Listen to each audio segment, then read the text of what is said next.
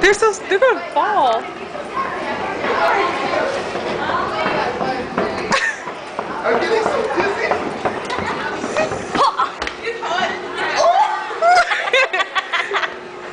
Okay, okay, bye, Mark.